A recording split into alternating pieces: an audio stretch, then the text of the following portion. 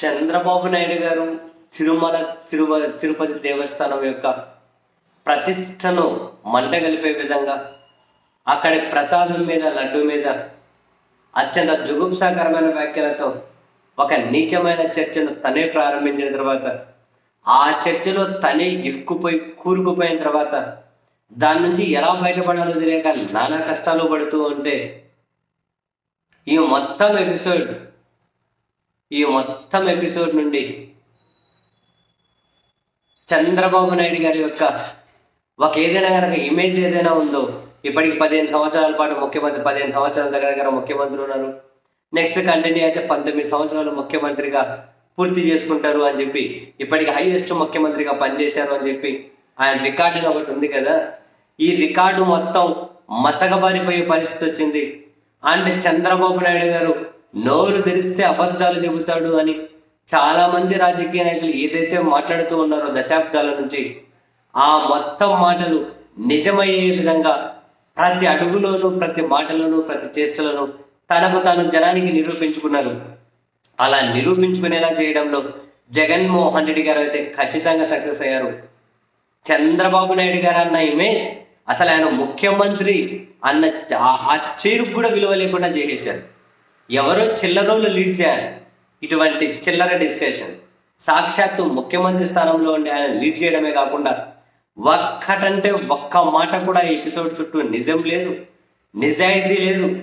And Jaganmohan Reddy గారు ఇంత దూకుడుగా ఈ విషయంలో ముందుకు వస్తారు అని చెప్పి ఎక్స్పెక్ట్ చేసి ఉండరు మనం మరకలేసుకుంటూ పోదాం. ఆయన తుడుచుకోలేకుండా పోతాడనే అంతవరకు వీళ్ళు. మన దశాబ్దాల నుంచి చేస్తున్న పని అదే కదా.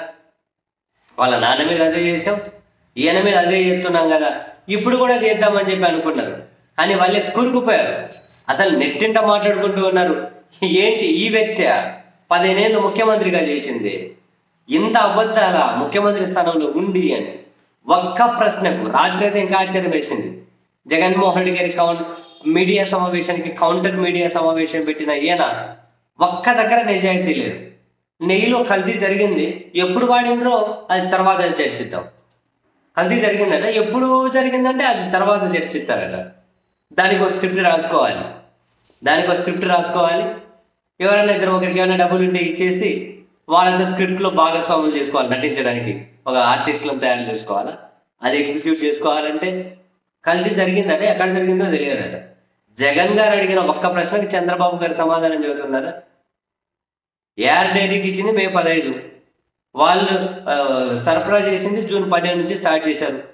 ఫస్ట్ నాలుగు ట్యాంకర్లు పాస్ అయిపోయాయి. తర్వాత నాలుగు ట్యాంకర్లు జూలై ఆరు రెండు జూలై పన్నెండు రెండు అప్ టు ద మార్క్ లేదని చెప్పి తిరిగి పంపించారు. అంతా మీ పీరియడ్లోనే జరిగింది కదా? అంతా మీ పీరియడ్లోనే? మరి బాధ్యులు ఎవరు? అప్ టు ద మార్క్ లేదని తిరిగి పంపించడం కొత్త ఏమీ కాదు కదా? అలా తిరిగి పంపిస్తే మరి ఎట్లా కల్తీ అవుతుంది? చంద్రబాబు దగ్గర సమాధానమే లేదు. లేదు మేము అబండాలు ఎత్తను చూసుకోవాలి మేమంతా అబద్ధాలు రాద్దాం. రాజకీయంగా గుడ్డలో తీసుకొని తిరుగుతాం. మీరు మాత్రం అప్పే అని చెప్పి తూ సిగ్గెత్తుంది అనకూడదు ఏంటి అదంతా చరిత్రలో ఫస్ట్ టైం గుజరాత్ ఆ గుజరాత్ సంస్థను పంపించారు. ప్రతిదీ కుట్రనే. ప్రతిదీ కూడా ఒక కుట్రపూరితంగానే. ఒక్క ప్రశ్నకి సమాధానం ఉందా? జగన్ మూడు వందల ఇరవై నాలుగు రూపాయలకే కేజీ నెయ్యి కొంటున్నాడు. అంత తక్కువకి ఎట్లా కొంటున్నాడు అంటారు. మరి అంతకుముందు మీరు రెండు వందల డెబ్బై నాలుగే కొన్నారు కదా.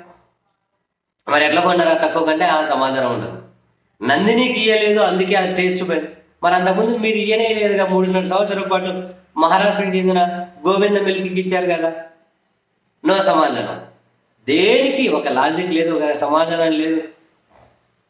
ఆ జగన్ డిక్లరేషన్ ఇవ్వాలి. ఎందుకంత ఆయనకు? ఇచ్చిపోవాలి కదా ఎవరైనా. మరి నువ్వు ముఖ్యమంత్రిగా ఉన్నప్పుడే ఆయన ప్రతిపక్ష నాయకుడిగా ఉన్నప్పుడే చాలా సార్లు పోయారు వచ్చారుగా. అప్పుడెందుకు అడ్డు రాలేదు? అనవతస్తులు వెళ్తే ఆ డిక్లరేషన్ వేయాలని చెప్పి బ్యాన్ ఒక బోర్డులు పెట్టారు. మరి జగన్ రావట్లేదు తిరుమల కనగానే అవన్నీ ఎందుకు తీసేశారు? నోరు తెరిస్తే అబద్ధమా? ప్రతిదీ రాజకీయమేనా? దేవుడితో ప్రసాదంతో మతంతో చివరికి పిల్లనిచ్చిన మామతోటైనా రాజకీయమే? ఇంకెవరితోటైనా ఆటికే ఇది చంద్రబాబు నాయుడు గారి ఏమంటారు? ఇన్ని దశాబ్దాల రాజకీయం అని చెప్పి నెట్టింటైతే రవ్వంతా కూడా ఈయన మీద గౌరవం చూపట్లేదు. రవ్వంత కూడా ఇంత ఓపెన్గా అబద్ధాల? ఇంత పచ్చిగా అబద్ధాల? కళ్ళు ఆర్పకుండా అబద్ధాల? కళ్ళ ముందు కనిపిస్తూ ఉంది ఈయన ఈయన చేస్తున్నటువంటి ఇన్ని అబద్ధాలు.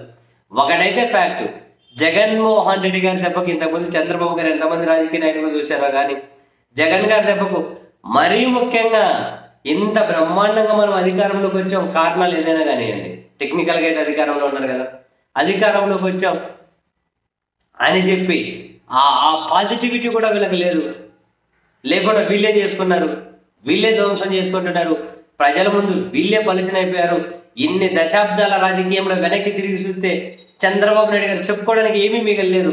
అది అన్ని ఇలాంటి అబద్ధాలు అన్ని ఇట్లాంటి అబండాలు ఎదుటోళ్ళ మీద ఇట్లాంటి మరకలేయడాలు బురద చల్లడాలు అంత ఇదే రాజకీయం తప్ప ఒక్క దగ్గర కూడా ఫెయిర్ రాజకీయం లేనే లేదు అని మరొకసారి ప్రాక్టికల్గా నిరూపితమైంది అని చెప్పి జనాలు కూడా నెట్టింట పెద్ద ఎత్తున చర్చించుకుంటూ ఉన్నారు.